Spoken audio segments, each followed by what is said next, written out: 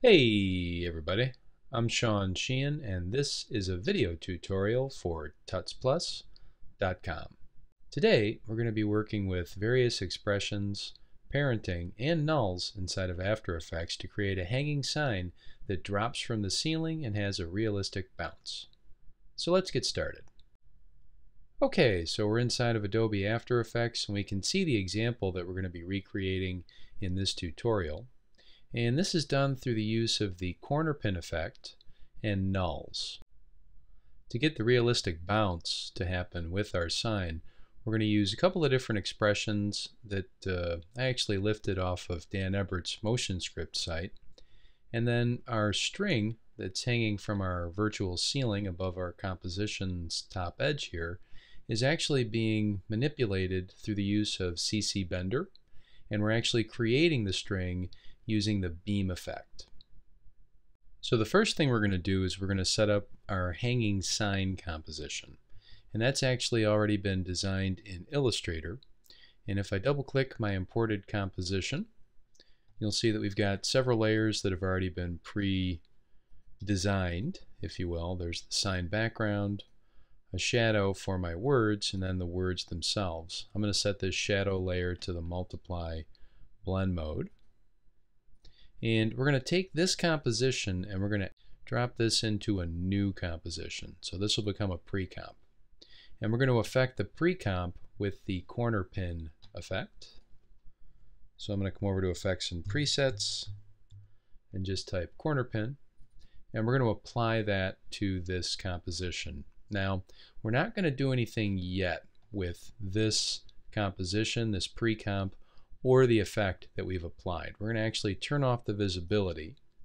And what we're going to do instead is build some nulls into our composition. So I'm going to go underneath the layer menu and choose new null object or option shift command Y.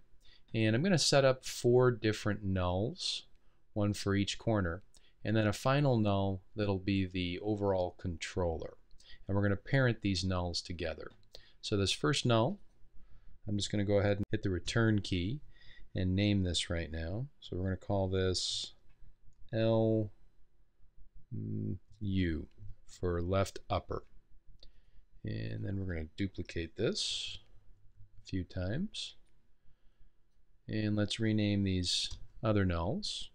We'll call this one RU for right upper. And then I'm going to name the next null left lower or LL. And the final one, we're going to call this right lower or RL. Now I'm going to put these in different positions in the scene. Now these are going to be 3D nulls, but for now I'm going to leave them in two dimensions because it's going to be easier to line these up. So let me bring up position. And these nulls are going to be the four corners of my hanging sign.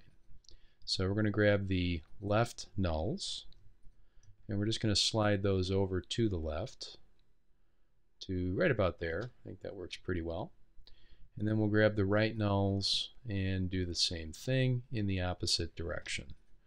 Let me make sure I've got just the right nulls. Let me command click. There we go. And I'm grabbing the X value and I'm pulling those over.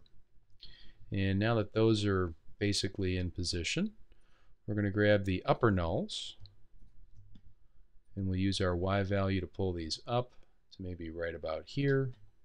And then the lower nulls, I'm going to grab these and pull those down. So I want a proportion that's basically the same as the initial 2 to 1 proportion of my hanging sign composition. This, incidentally, was set up at 1280 by 720 inside of Illustrator upon import. And let's go back to here. So I want something similar to that. And these nulls, their anchor points are in the top left-hand corner. And that's going to be important because that top left-hand corner is where corner pin is going to register the different corners of our pre-comp. So I want to make sure that when I'm lining these up, I'm actually using this top left corner as my guide for where I want the nulls to be. So I'm going to turn these into 3D nulls. So let's select all of these and turn on 3D. And I'm going to hide all of the different layer transforms. And we're going to add one more null. And this null we're going to call sign controller. And this can stay right in the middle, but I do want this to be even with the upper nulls. So left upper, let's bring up position for a second, and that's 275 on the Y. So we're going to set this to the same amount. And we'll make it a 3D layer as well. Now I want all four of these nulls, the ones that we created for each corner of our hanging sign, to be parented to the sign controller. So I'm going to do that now. Then I'm going to click on my hanging sign and I want to open up the expression field for all four corners. So I'm going to hold down the option key and just turn on the expression field for all four of these. And we're going to edit each one of these based on this first expression here. Okay, so this first one is the upper left corner, and we've got the upper left null right here. So we're going to pick whip directly to this null. We're not going to select position. We're going to go right to the null itself. And then we're going to get this little expression that actually wouldn't work if I were to try and use it. You can see that this errors out. And that's because there's not enough information for this expression to do anything. We have to give it a little bit more info for this to properly link to our null. So right after this close parens, I'm going to type a period, then the word to, and then a capital C, OMP for comp. And then we're going to put in an open parens, and then an open bracket, and then a zero followed by a comma, and then another zero followed by a comma, and then a final zero, a close bracket, and then a close parens. And what we're doing is we're taking this 2D coordinate and we're turning it into a 3D coordinate. So our null, which is in three dimensions, now has the ability to control this corner. Now we're going to highlight this expression. We're going to copy it. And we're going to go down to upper right and we're going to paste it in. But we need to change the name that this expression is drawing its information from because right now it's going to draw from the same null as the upper left and we don't want that. We want this to come from the upper right which is RU. And then we'll go down to our next expression and we're going to paste and we're going to change our lower left to LL and then finally, our lower right. So we'll type in art. And there we go. Whoop, we got to flip that. Should be RL. There we go. So now, if we turn on our sign and we turn off caps lock, we can see that the four corners of our sign match up with the four nulls that have been set up to those corner points. Now if I grab any one of these nulls and I start to move the null, you can see that the sign will move in whichever dimension I choose to move the null. So if I move it in X, Y, or Z, this corner is going to go exactly to where this null goes. It has no choice. But that's not exactly what we want. We want the four corners to all work off of this sign controller, which allows me to move this sign with rigidity in all three dimensions. So instead of animating the individual nulls, we're going to focus on animating this controller null, which means we can take these four nulls that we created, we'll turn on shying, we'll lock those, and then we can hide those. Next we're going to add the string that basically hangs our sign from our virtual ceiling. So we're going to come over to Effects and Presets and we're going to type Beam. And we're going to drop this beam on a new solid. So we're going to make a new solid, which is Command Y. Control Y on the PC. And it doesn't matter what color the solid is because we're going to actually not use the color of the solid for this. And we're just going to call this strings. And we want this to be the comp size, which again is 1280 by 720. So we're going to click OK. And now we can add our beam effect. And this layer can go beneath our hanging sign layer. And right now we've got basically just this small line that stretches in between these two points. And we're going to make some tweaks to the settings here for the beam to augment this. We're going to take our inside color, we're going to make that white, along with our outside color. And starting and ending thickness, we'll make that the same value, probably 2 pixels ought to work. And then we'll get rid of the softness. We don't need this to have a feathered edge, our line. And let's take the length and make this a full 100% and we'll leave time alone.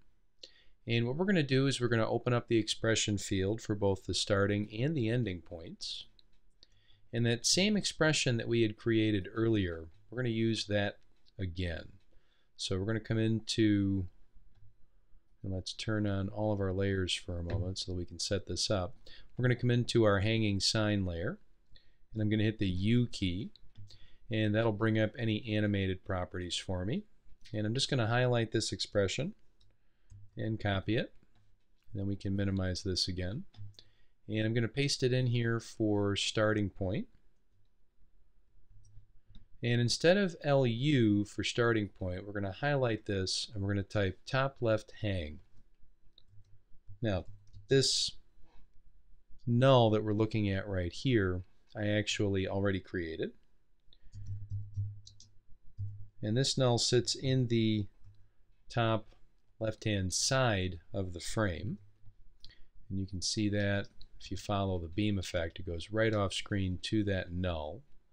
So let's click on the solo switch for those nulls. And you can see them off screen here. In fact, let me grab them and change their highlight color. Let's make them orange. That way you can really see them. So now the starting point goes off screen to this null on the left hand side. And we'll turn off our solo switch. And we'll take this same expression once again and we'll paste it in for ending point. And for ending point, we want the line to go to the top left null. Okay, this null right here, which is LU for left upper. So we'll just come down here, and we'll type that. There we are. And we can see that line go from this null all the way down to this one. Now, instead of making another solid, what we're going to do is we're going to duplicate the beam effect on this solid. So I'm going to take this beam and I'm just going to hit Command D to duplicate it. And that also duplicates the expression. And we want this to composite on the original, so we're going to turn that option on for our second beam or our duplicate here. And underneath beam 2, which is our duplicate, we're going to change the name of the null that the starting point points to. We're going to change this to top right hang.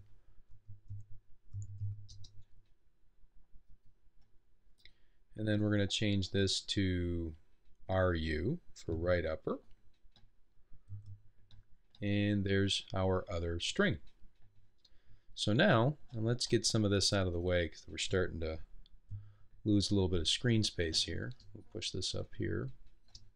So now if I grab my sign controller and I move this around, you can see that the sign not only moves when I move this controller, the relationship of the sign to both the ending point of the string and the starting point of the string changes automatically.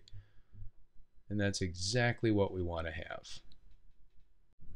Now that we've got our string set up, I'm going to click on my string layer and I can actually rename these effects. So I'm going to call this beam effect left string And beam 2 we'll call right string. I want to make this easy to identify because there's a lot of different pieces that make up this little puzzle that we're creating here. So the less ambiguous everything is, the uh, easier it will be to change things if necessary. Then the next step is going to be to animate our actual sign now that we've got everything more or less geared for this to move. Let's grab the sign controller and we're going to move this up and off screen. So I'm going to grab the Y and just pull this all the way up and off screen right about here. And we'll set a keyframe for position there. And then we'll maybe keyframe forward or move one frame at a time forward to about five frames into our animation. And we'll bring this back down into view like so. And let's set this to fit in auto. And that looks pretty good right about there. Let's even this up slightly. Now to just move this straight down, obviously the animation's not very exciting. So I'm going to use a couple of expressions to kind of spice up this movement. Now the first expression I want to use is going to work on the position and I'm going to jump over to a text document that I've included with the actual project file for this tutorial. And these two expressions on the bottom here are actually from Dan Ebberts' website, motionscript.com. And this one little expression right here is the one that we're going to copy for the movement. So I'm going to copy this and we're going to open up the expression field. So I'm going to hold down the Option key and click on the stopwatch and paste. And what that does is it creates kind of a nice but extremely fast bounce that begins to decay off over time. And there are values that we have here that we can tweak to kind of make this bounce a little more unique and uh, a lot more like what we would actually want to see. Okay. Now before I tweak that, I'm going to also bring up rotation. And I want this to rotate on the X, almost like a hinge, okay, as this sign falls down and into position. So I'm going to go back to that little document of expressions, my text document here, and I'm going to copy this rotation expression, and we're going to paste this right into X rotation.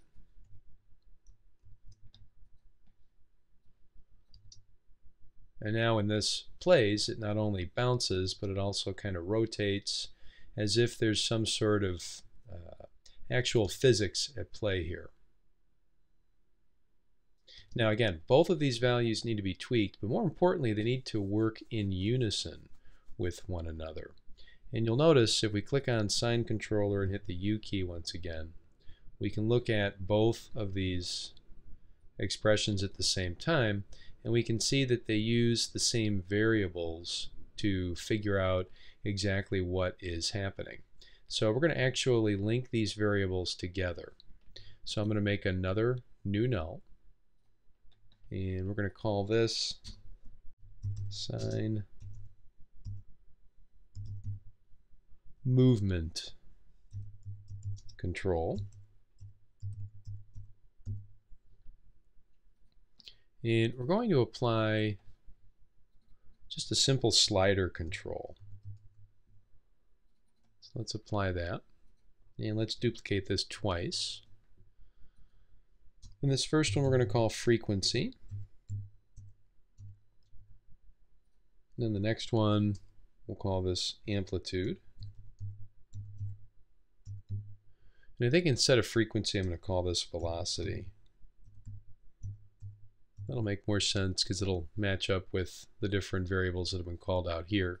And then obviously this last one's going to be decay. And what we're going to do is we're going to take these existing values and we're going to link them instead to whichever values we place into these sliders. So I'm going to highlight the number for velocity for position. Then I'm just going to pick whip to that slider. And then we're going to do the same thing for the two remaining values. So let's highlight the number for amplitude and take it to there. And then finally decay. Then we'll do the same thing for the expression on the x rotation. And this turns these expressions into meteor versions of themselves, and that's okay. We're just going to collapse all this. And we're going to drop some values in here. Let's take our velocity and set it to maybe, let's try 10. And then amplitude, let's try 100. And decay, let's try 2 seconds.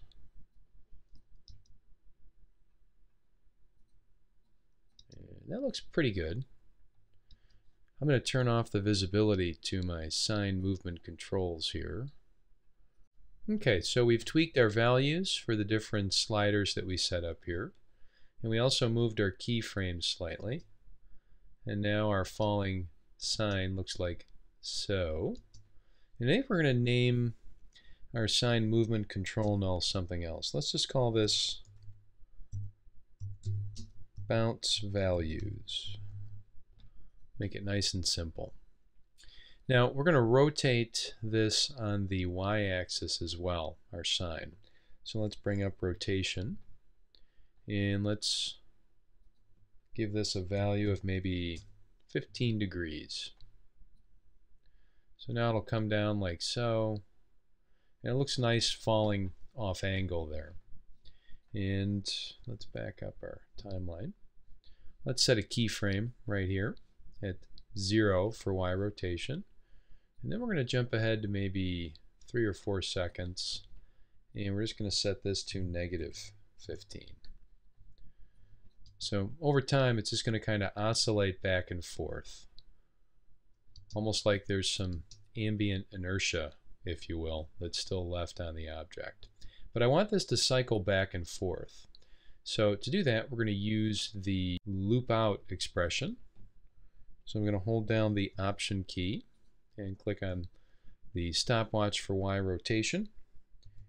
And I'm going to type loop out with a capital O where the word out starts. So L-O-O-P, capital O-U-T. And then an open parens, and then a quote, and the word ping pong. You heard it right. And then a close quote, and a close parens. And what this expression does, long story short, is it forces the keyframes that have been applied to Y rotation to cycle over and over again based on this descriptor. And in this case, ping pong makes these keyframes cycle back and forth instead of from the beginning to the end and then starting over. Now we're going to take these keyframes and we'll set these to ease. And then I'm going to go into Graph Editor and tweak these values just a little bit more. I want the rotation to be almost non-existent at the keyframes. So it looks like they really do kind of lose momentum a little bit before the rotation starts up again. So let's lock these layers for a second and we'll do a RAM preview. And so far this is working out rather well. We still have the issue of our beams, though, being easy to spot on the edges of our composition here, our pre-comp. You can see that we're the anchor point of the nulls lines up to the corner point for each one of the four corners of our sign, we can see that the beam actually runs off that just a hair but it's enough to be able to tell that it's not directly hooked to our pre-comp. And I'm going to fix that by unlocking my hanging sign layer. I'm going to select that. And I'm going to go up to layer and I'm going to choose a layer style. And we're going to grab the stroke effect. And I'm going to change the color of the stroke so that it matches the edge. So let's set that to that nice green. And then we'll take the size of our line to maybe 5 or 6. Let's try 6. And if we perform another RAM preview, you can see that not only does it now look more like the strings are attached to the sign, but we also have this nice rounded edge because of the stroke effect that actually comes from Photoshop. Okay, we're almost finished with this little tutorial. The only thing left to do is to give our string, our beams here, a little bit of elasticity. We can see when the sign falls that there's a little bit of shake and some deformation in these strings, which adds to the realism. So we're going to add that in our composition. So let's jump back over here. And we're going to do this by using CC Bender to make this look like the string actually bends when the sign falls. So let's bring up CC Bender. And let's add an adjustment layer. So layer, new adjustment layer, and we're going to name this string bend. And we're going to call this left, and I'll explain why in a bit. And we'll just apply the bender effect directly to there. And when we use CC Bender to morph an image, you can see what it does. When I turn the amount, it kind of goes in and just deforms whatever's on screen or whatever the effect is supposed to change. And that deformation is nice, but not exactly what we want. We want this deformation to happen so that only the string looks like it's bending. So we're going to take this deformer and we're going to change the style to Marilyn. And we're going to set the top and base values to match our string. So let's do that. And we're going to bring back our nulls for a moment. And let's first open up the expression fields for both top and base. And we're going to use the same expression as before when we set up our hanging sign. So I'm just going to come back down to here, hit the U key to bring up the effects that we've already placed. I'm going to copy this expression and I'm going to paste it into here. Now we want to work with the top left nulls that we've created here. So we've got this one all the way up at the top and then the one that's on the top corner on the left hand side of our sign. So these are going to be what we're going to utilize.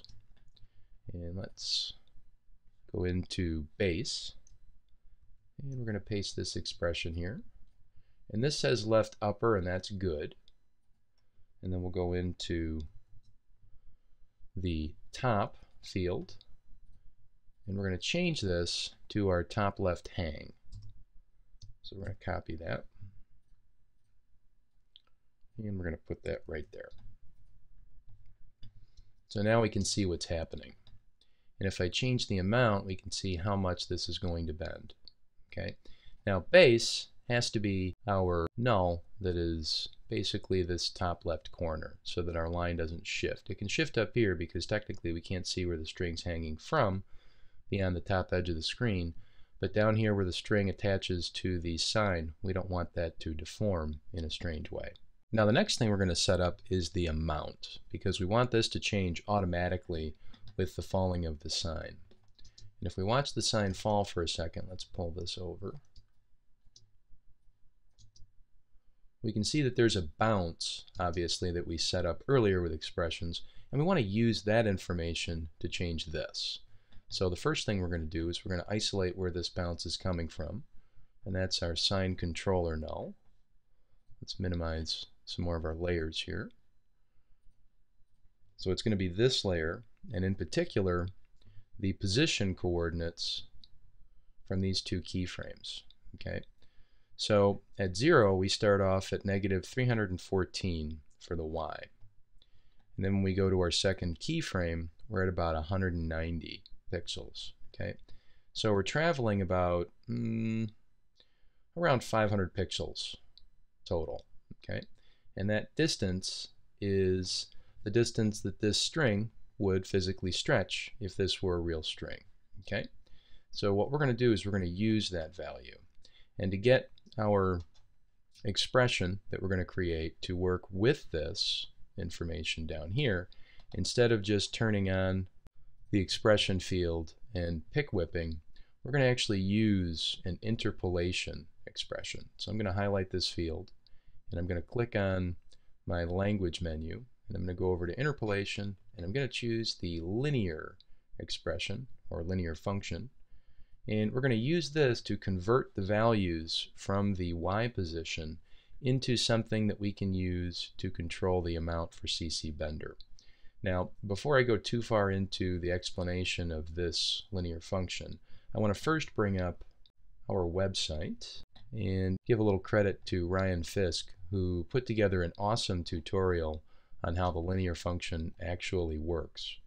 Um, when I put this together, I actually did a little bit of research after the fact, and I found his video and thought, well, I don't really need to explain the linear function because Ryan Fisk already knocked it out of the park in his explanation.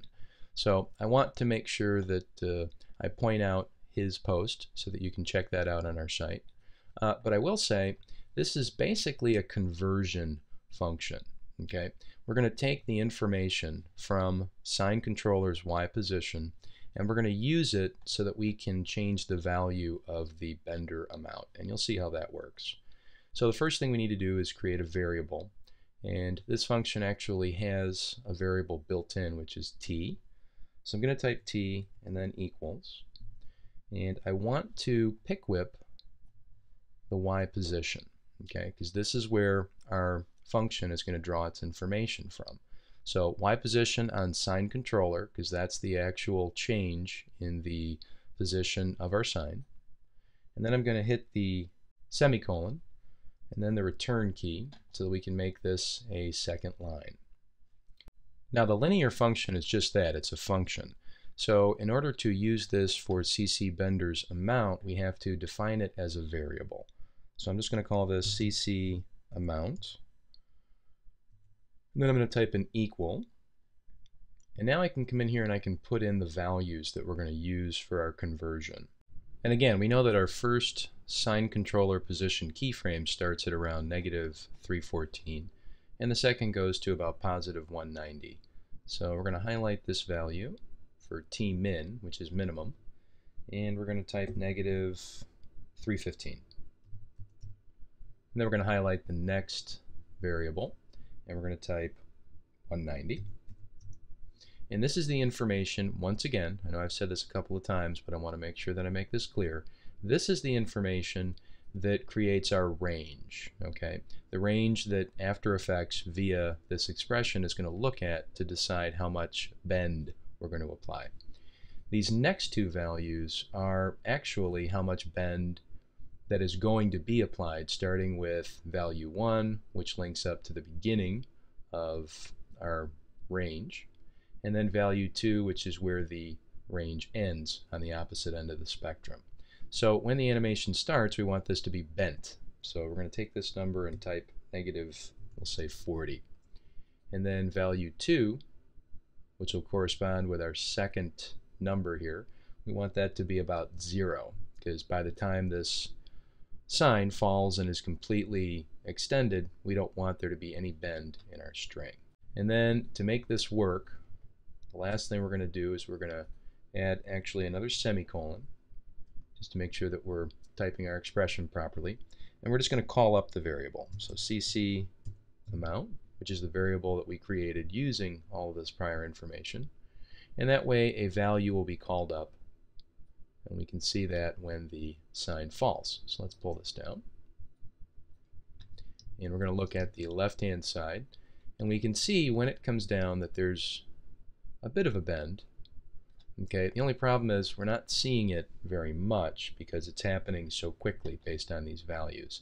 So we're going to augment them. Let's take our negative 40 and just really amp this up. Let's make it negative 100.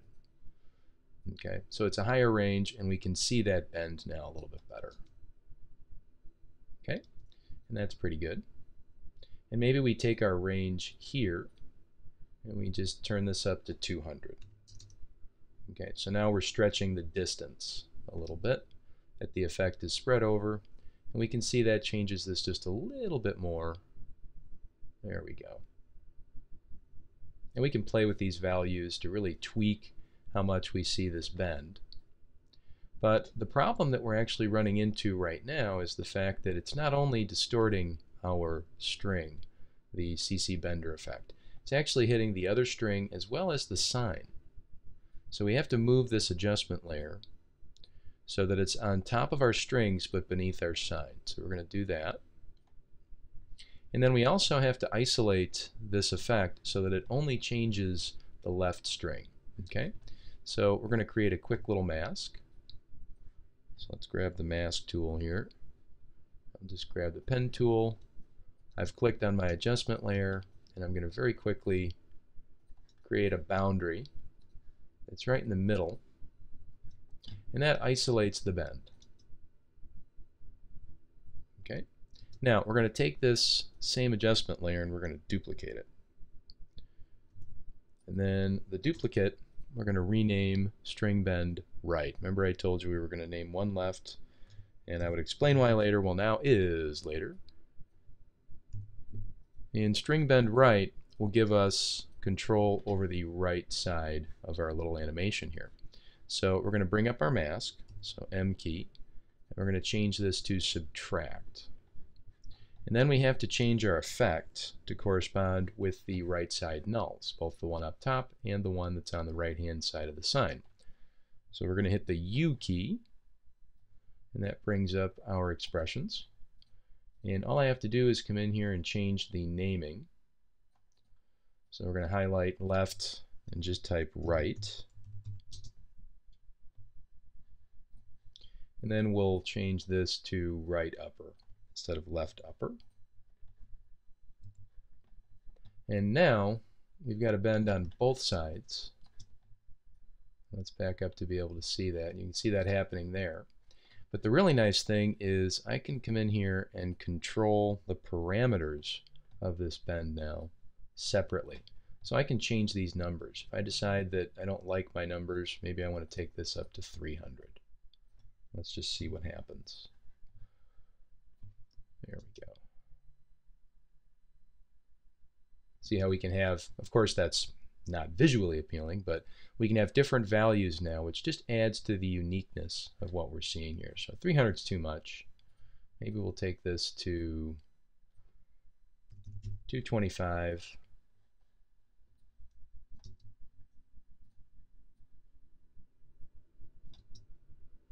And maybe we'll turn up our bend amount too. Maybe it should be positive so that it bends in the opposite direction, and maybe 150. There we go. Now there's just a little bit more uniqueness in how this bounces. And that's basically it. We had a little animation inside of our pre-comp here.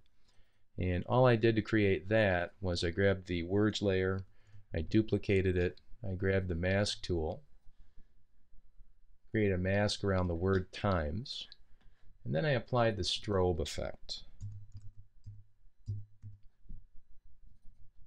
And I just changed the color to something that would definitely stand out but not look too hideous. So this nice kind of a yellow color. And we let the strobe stay set to operates on color only. And duration will change to 0.25 and strobe period will change to a half a second. And that just makes this change happen a little bit sooner. And then the final trick was to add a little bit of reflection on our sign to enhance the scene and make it feel more 3D, if you will. So we did that by adding another adjustment layer. So let's go new adjustment layer and we'll just name this reflection. And I do this a lot when I need a quick scene enhancement that makes whatever it is I'm working on feel like it's in uh, three dimensions a little bit more. So I'm just going to bring up levels and I'm just going to drop this right on my reflection adjustment layer. I'm going to take the output white point and just turn this down slightly. And then I'm going to grab the pen tool. And I'm going to draw just kind of a breaking shape toward the bottom of the screen here. And we'll use the move tool to change the Bezier curve slightly. And now when the sign falls, it kind of falls into that reflection path, which feels a little bit more natural. And maybe when it comes down for the first time, we'll set keyframes on our mask. And we'll just start to pull this maybe down during the length of our animation, just slightly. And let's grab these keyframes and set those to ease. There we go.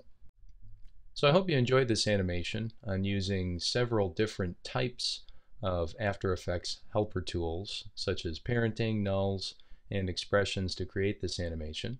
And until next time, I'm Sean Sheehan for tutsplus.com.